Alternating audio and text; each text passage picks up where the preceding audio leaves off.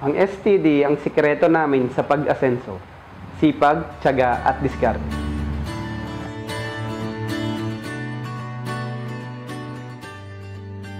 Maaga pa lang, bumabangon na kaming mag-asawa para maghanda ng aming paninda. Inihahanda namin yung mga kailangang sangkap ng carrot ball, saka ito titiplahin.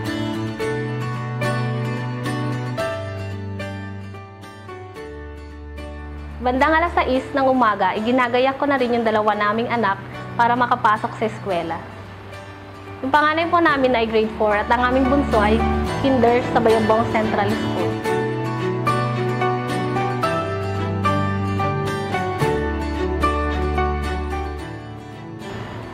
Pagkatapos, lumamamalengke na rin ako para sa iba naming kailangan sa pagtitinda.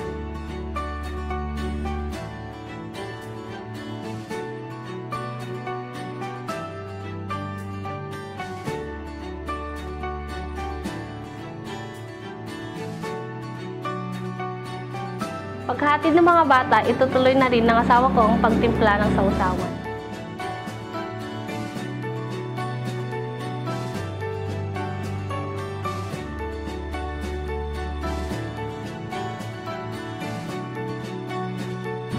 Bandang alas 10 ng umaga, nag-aantay na rin ang ibang card sa labas para malagyan ng mga paninda.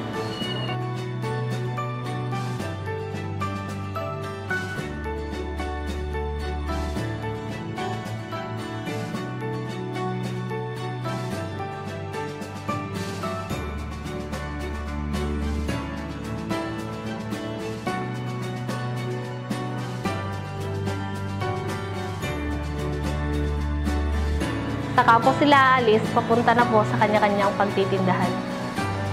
Yung isa po sa Bayumbong Central School, yung isa dito sa SMU Grade School, at yung dalawa sa SMU Main Gate. Sa tanghali, asikasuhin po ulit namin ang pangangailangan ng dalawang anak namin bago pumasok ulit sa eskwela. Buong maghapon po, naghahanda at nagkakarga lang po ang ginagawa namin. Mayroon na po kasi kaming apat na cart at may mga taga-tinda na rin po kami.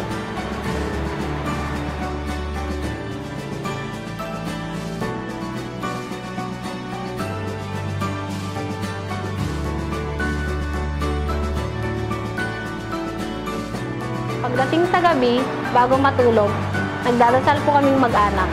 Nagpapasalamat sa Panginoon sa mga biyayang pinagkakaloob sa amin. Kami namang mag-asawa, bago kami matulog, nag-uusap rin kami kung may mga problema sa aming negosyo at kung paano namin ito maayos.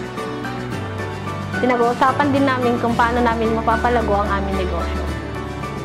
Nung nagsisimula pa lang kaming mag-asawa, nung nabuntis na po siya, tapos ako po ay nagpapasada noon, tapos nakatira po kami sa mama niya, sa Bagabag po. Tapos po nung malapit na po siyang manganak, lumipat po kami ng Boyongbong, nakatira po kami sa mama ko. Napagdesisyon po namin dalawang mag-asawa na na bumukod po kami. Gumawa po ako ng paraan, gumawa po kami ng kubo-kubo lang, lahat po ng mga pwedeng itagpi sa bahay, linalagay ko po sa bahay. Habang nagpapasada po ako, pag may nakita akong plywood na medyo malapad, pwede pa, kukunin ko. Yun ang itatagpi ko sa kubo-kubo namin. Tapos po, lahat po ng parte po ng paligid po ng kubo-kubo namin na bahay, ah, puro tagpi-tagpi po. Yung mga iba po, mga kinakalawang na yero. Kapag meron naman po kaming ano, pera, meron po kaming ibibiling sawali, maliit lang siya, hindi kaya po, hindi po kaya ng budget. Kaya ganun lang po yung bahay namin. Ah, kung minsan po tumutulo, lalo na po kapag kapag dumarating po yung bagyo, lumilipad po yung mga yero. Kung minsan po na nakakahiyak kasi yun nga po kulang ah, kulang po kami sa pera. Kaya nga po nung nakapag ano po kami, nakapag nakapag sarili po kami ng pagtitindahan, doon na po kami nagsimula na ah, magkaroon po ng medyo maganda-gandang bahay po. Yung pangalawang bahay po, nagkaroon na po kami ng konting budget. Pin, ginawa po namin ng misis ko, dalawa po kami. Ako po yung taga hollow block, yung misis ko po yung taga semento. Mayroon po siyang taas pero wala pong cover sa taas. Pumapasok po yung tubig pag umuulan, nababasa po kami. Ah, yung mga yero po lumilipad po siya kasi hindi po siya nakapako. Nakatali lang po ng alambre, nakapatong yung kawayan. Nakapag ano po, bumabaha pa po dun sa amin. Lilipat po kami sa kapitbahay namin, makikitulog muna hanggang sa matapos yung bagyo. Tapos babalik po kami ulit sa bahay namin, maglilinis. Tapos ah, ayusin yung mga nasira sa bagyo. Kung kayo po ay nahihirapan din, huwag po kayong sumuko. Ah, fight lang po ng fight. Basta magtutulungan lang kayo ng mag-asawa, huwag kayong makalimot sa Panginoon para makamit nyo ang mga gusto nyo makamit. Mas maganda ang buhay namin ngayon kumpara noon. Dahil ngayon, ah, nabibili na namin yung mga kailangan sa pagtitinda, mga gamit. Dati kasi noon, maliit lang na kaserola. Ah, pag nagluluto ang mister ko ng sauce niya, minsan dalawang salang lang, dalawang salang pa kasi maliit yung kaserola niya. Pero ngayon po, ah, nakabili na po kami ng kaserola na malaki. Para minsan ang luto na lang po. Dati yung cart po namin isa lang, tapos naging dalawa. Ngayon po, apat na po ngayon. Meron na rin pong susunod pa. Baka maging lima or anim. Sana. Ah, noon po wala kaming sariling lupa. Pinalis pa nga po kami noon, lumipat. Ngayon, ah, meron na po kaming hinuhulugan na lupa. Bali, dalawa po yung hinuhulugan namin. Ah, sana after two years, hopefully, magiging amin na. Ah, ngayon po, nakakapasyal na rin kami kung saan-saan. Ah, kaming pamilya, nakakapag-banding, nakaka... kung saan-saan po kami namamasyal. After ng pagtitinda namin, after ng limang araw na pagod, ah, na namamasyal kami para naman ano, para mas mapagtibay namin relasyon naming pamilya at sa relasyon namin sa Panginoon.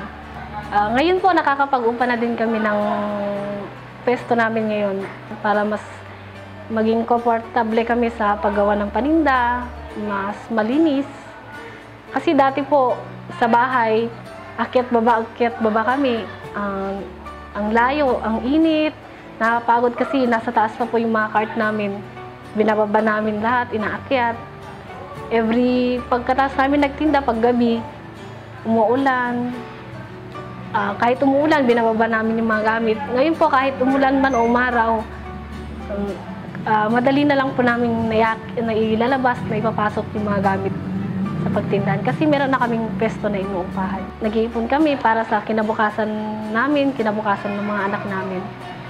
At pag may extra po kami, ayun, ah, nakakabili na rin po kami ng mga appliances namin, mga gamit namin sa bahay, na dati noon wala. Wala lahat. Ngayon, halos meron na rin po. Marami rin po kami pangarap sa buhay. 2 or 5 years siguro, magpa-franchising po kami para makatulong po kami sa mga salat sa buhay, gusto magtrabaho, gusto po namin sana. Lalo pa pong mag ano po yung hanap buhay namin at dumami pa po ang mga cart namin para po pagdating ng panahon, yung pangarap po namin magkaroon ng sariling bahay, makakamit po namin. Pag meron po kaming nadadaanan, malapit lang po dito sa amin. Kung minsan po makikita po ng anak ko, dati, ayun yung bahay natin, oh. Sabi po niya sa akin. Sabi ko naman sa kanya, hayaan mo anak, someday soon magkakaroon tayo ng ganyan na bahay, kaganda. Gusto kong magpasalamat unang-una sa ating Panginoon sa mga gabay at biyayang binibigay niya sa amin. Sa aming provincial government, sa pangunguna ni Ma'am Ruth Rania Padilla, sa pagbuo ng ganitong programa para sa aming mahihirap. Sa PSWDO, sa lahat ng mga tulong nila sa amin. Sa aming barangay officials ng District 4, sa pagpili sa amin bilang entry ng Idol Kong Pamilya na naging daan kaya kami nanalo sa Idol Kong Entrepreneur. Sa pamilya namin, lalong-lalo na magulang namin, sa pagtulong sa amin sa mga gawain sa bahay at pagtitinda sa mga taga-tinda namin. Maraming salamat. Kung wala po kayo, hindi po namin mararating ang kinalalagyan namin ngayon. Ang tagumpay para sa amin ay iniingatan at mas lalo pang pinag-iibayo ang sipag, tiyaga at determinasyon. At higit sa lahat, ang tagumpay ay binabahagi sa kapwa, lalo na sa nangangailangan.